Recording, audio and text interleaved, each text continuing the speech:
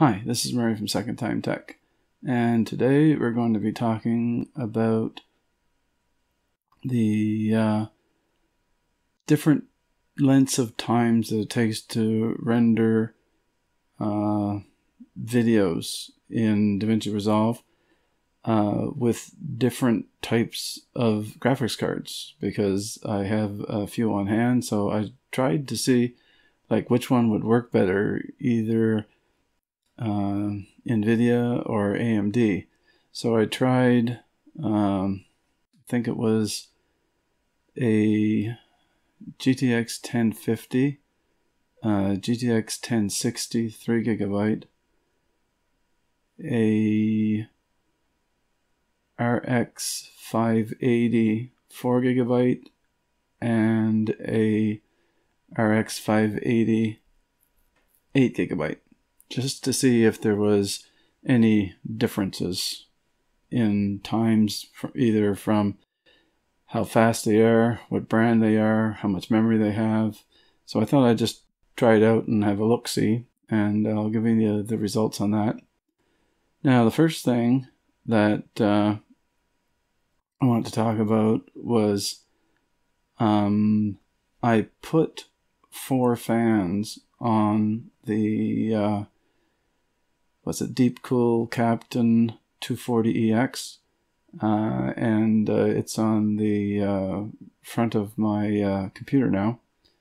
And I've been running it for a little while. And I ran Prime 95. And the highest that I got was 75 degrees Celsius. And uh, the ambient temperature was 24 degrees. And so that's um, a delta temperature of 51 degrees Celsius. That isn't much better than whenever it only had two fans. I think it dropped maybe three or four degrees because now, whenever I ran it this time, I had it overclocked at 4 gigahertz. So I think the last time it was only running at 3.9. So I had figured it out compared to my uh, Master Liquid one that it was probably around 8 or 9 degrees difference. Well, it went up a little bit, but not that much. So I figure it's doing a little better, but still not as good as what I thought it would do. I think that probably the uh, uh, was it uh, the Cooler Master Master Liquid 120 would actually run better. I almost swear. Um, because then I remember the numbers were way lower. They were like 67 degrees Celsius was the highest that I got. And but that was in the winter whenever it was 20 degrees Celsius in uh, the area that I am in. And right now it's 24 degrees Celsius. So I think what I'd have to do is take that one out and put this one back in and try it again. I might do that. I'm not positive. But I will let you know. Um, the uh, other thing is that uh, the last uh, video that I had was 9 minutes and 45 seconds, and the render time was 2 minutes and 38 seconds, so it rendered it in 27% time of the length of the video. So that's actually quite good. And that would be under uh, like all auto mode, uh, except for the memory. The memory was uh, still uh, um, timed properly. Now, the next thing that I can talk about is the uh, graphics cards and how they relate it to DaVinci Resolve uh, number 15 beta 6 uh, did on re-rendering this uh, video over and over again. Well my, my last video over and over again. So it was always 9 minutes and 45 seconds was the length of the video. So I thought that was pretty good. So basically what I did was I tried it on the card that I always had, which was the MSI RX 580 4 gigabyte, and in overclock mode, which is 4 gigahertz, it ran in 2 minutes and 17 seconds. And so that means it was a 23.4% render time. Now, whenever it was in auto mode, I had just told you what it was there. So again, it was 2 minutes and 38 seconds and it was 27%. And then what I tried to do was I downclocked it. And the reason why I downclocked it was I was sitting there thinking, I don't really even need to run it that fast when I'm using it as my den computer. I was talking about that last week. I said, well, what's the lowest I can put it? Well, 2.3 gigahertz is the lowest that it'll go in BIOS. So that's what I set it to. And then I just rendered it on that one just to see what would be. And it ran at 3 minutes and 31 seconds, and it was a 36.1% render time on that. So, like, I did those times on each one of the video cards, but I'm not going to tell you each one of them. What I'll do is I'll tell you what the 4 gigahertz uh, CPU overclock and the tightened memory timings one was, just so that it uh, doesn't take like a real long time. So on the XFX RX 580, uh, the 8 gigabyte version, it took 2 minutes and 16 seconds. So basically one second less. So it was 23.3% time. So the doubling the memory and the extra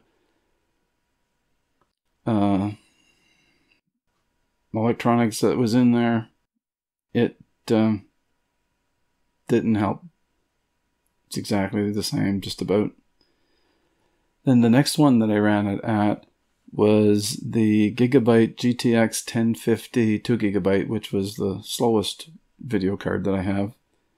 And the uh, CPU was overclocked to uh, 4.0 gigahertz. And it ran in 2 minutes and 16 seconds, which is 23.3% time. So is exactly the same. And the video card was like way slower.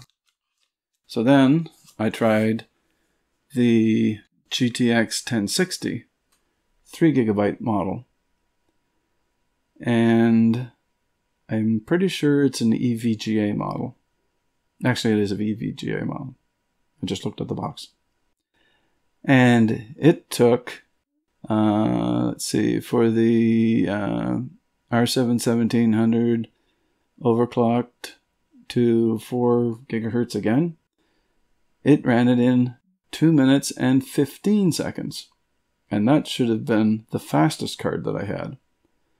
And it took 23.1% time.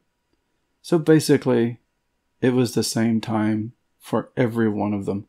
And it was the same time for it in auto mode and the same times for it in 2.3 gigahertz mode. They're, they were all around the same percentages.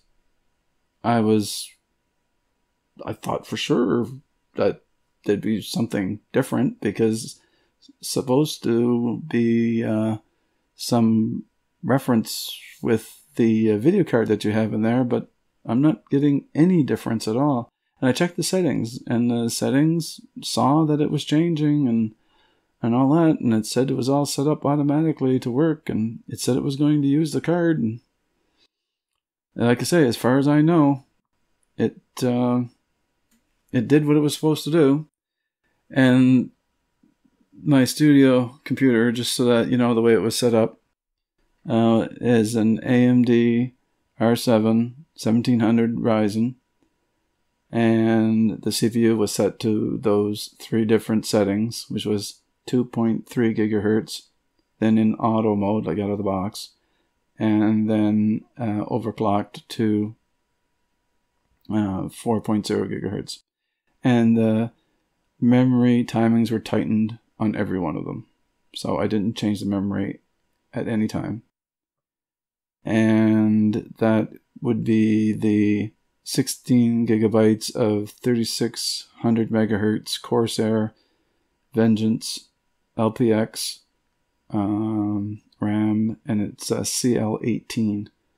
And uh, it was running at 3200 megahertz, 13, 14, 14, 30, and then it was at T1 timing. And the other things that was in it was, of course, the motherboard is an Asus Crosshair uh, 6 Hero X370 motherboard. And it has a 600 watt EVGA 80 plus bronze power supply. And the uh, boot drive is a Kingston KC1000 480 gigabyte NVMe uh, M.2 drive. So that's basically what uh, it was running in.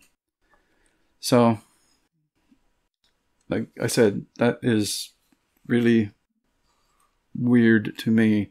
I thought for sure I'd see something different.